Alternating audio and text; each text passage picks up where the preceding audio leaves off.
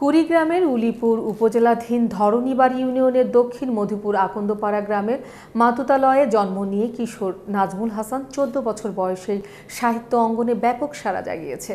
পিতা নূর আমিন সরকার ও মাতা হাওয়ানুর বেগমের তিন সন্তানের মধ্যে সবার বড় নাজমুল হাসান। সে কিশোর বয়সে লেখালেখি করছে বিভিন্ন জাতীয় দৈনিক ও সাহিত্য পত্রিকায়।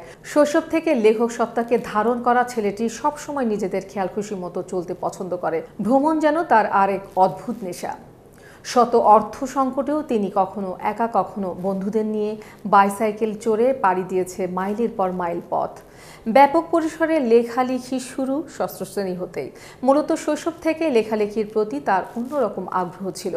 অসমাপ্ত স্কুল জীবনেই সে শিক্ষার স্বাদ নিয়েছে চার চারটি বিদ্যালয়ে। কিশোর নাজমুল হাসান মাত্র চোদ্দ বছর বয়সে তার লেখা তিনটি কাব্যগ্রন্থ প্রকাশ করেছে, যা কুড়িগ্রাম জেলার ইতিহাসে এক উজ্জ্বল দৃষ্টান্ত। মোদের এই জন্মভূমি সবুজ শ্যামলে ভরা। মাঝি ভাই নৌকা চালায়, পাখি যায় গে গান, কবিতায় কবি ফুটিয়ে তোলে জন্মভূমির মান।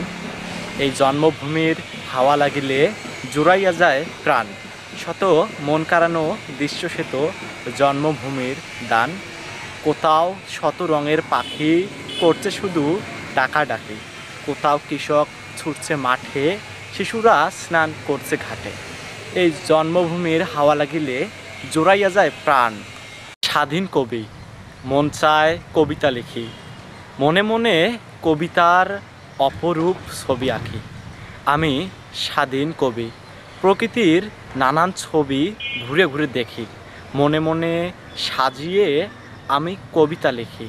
আমি স্বাধীন কবি, খোলা আকাশের নিচে বসে কবিতা লিখি। জ্যোৎস্না রাতে আমি স্বপ্নের জগৎ ঘুরে আসি। আমি স্বাধীন কবি, কবিতা লিখতে ভালোবাসি। প্রতিদিন স্বপ্নে আমি কবিতার জগতে ভাসি।